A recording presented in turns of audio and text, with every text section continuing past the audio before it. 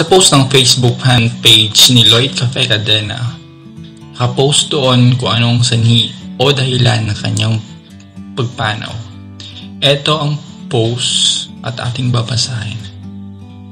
There are simple no words to express our heartfelt thanks for the prayers and sympathy you have extended to our family during this time of loss. Lloyd was confined in the hospital on September 1 due to high fever and dry cough.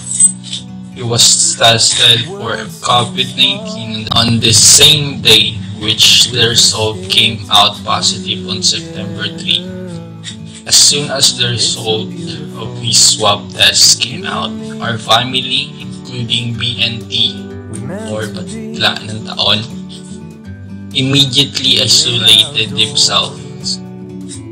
His vitals were okay and had no complaints. On September 4, 5 a.m., he was seen by the staff unresponsive and pale looking. As informed by the doctor, he suffered a heart attack while asleep.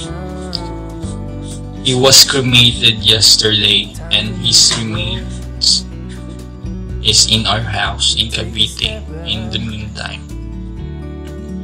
All expressions of sympathy including flowers and cards are welcome. You may send them to our address at number 4 Skara Kaingin Road, Barangay Santo Niño, Parañaque City.